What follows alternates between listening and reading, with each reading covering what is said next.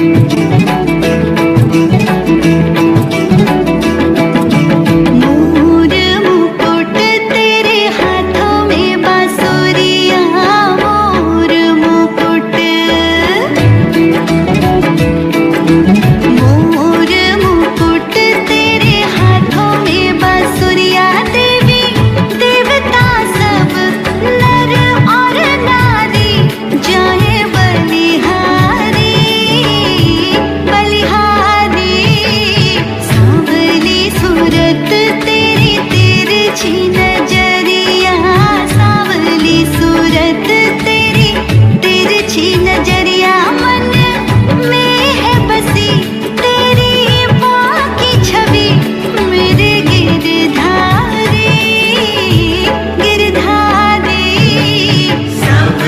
सूरत की तेरी तीन चीन जरिया